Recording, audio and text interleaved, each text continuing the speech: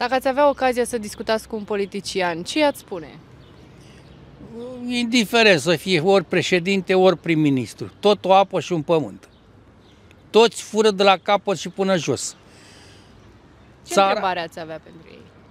Întrebarea ar fi unde merge cu țara asta și ce a făcut Ceaușescu a fost cancer pentru țară și ei acum ce face?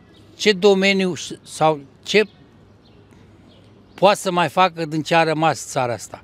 Pentru că nu aveți niciun proiect de țară.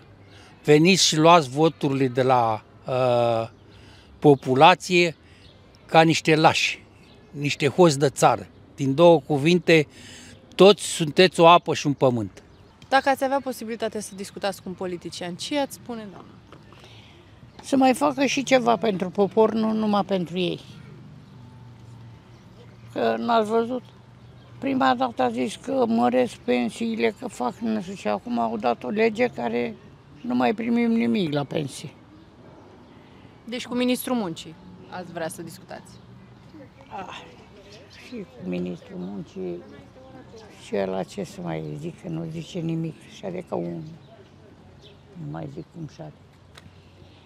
Eu nu pot să spun că am o pensie mai bunicică, că eu am lucrat în armată 40 de ani și am avut un spor de asta de importanță, că e- așa îi se spune al armate.